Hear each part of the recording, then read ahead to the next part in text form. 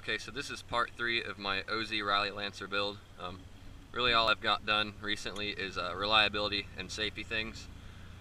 Um, like with the performance upgrades, I'm going to try to do everything even and get suspension and braking upgrades and stuff like that as well to keep it like a well-rounded car and safe and stuff. So what I've done recently is I got a set of Ultrastop drilled and slotted rotors and the slots and the drilled parts are spaced out so that it lets the rotors be as strong as possible. They're a lot stronger than the ones where there's just a bunch of crap crammed onto the rotor.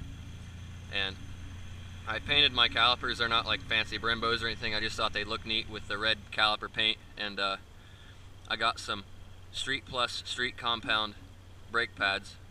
And uh, it stops a lot better now. And those Street Compound brake pads won't last as long, but they do really stop it a lot harder. So the braking is way nicer now. And I plastic dipped the front lip there a little bit because the previous owner had uh, smashed into some stuff on a curb or something and and jacked the paint up. So that kind of hid that. It's kind of dirty now, but it looks really good when it's clean. And uh, here soon I'm going to fix this big bonk in the side here that somebody caused before I got it. Here's the other side. The lights on the rotor, you can see it's all shiny and cool looking. I bet that'll rust up real quick though. I hope not.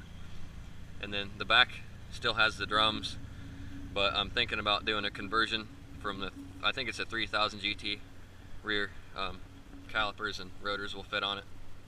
And also I got a set of OBX Racing silicone radiator hoses because the ones that were on it were all dry rotted. And these are supposed to, these are supposed to be a lot safer and not like bust or anything. So they look pretty cool too, the red. And uh, my RRM ported intake manifold's not here yet, but it will be soon. And then I'll get that and the throttle body on there, and it should be a little quicker after those mods. So that's about it for now. Let you hear it revved up a little bit.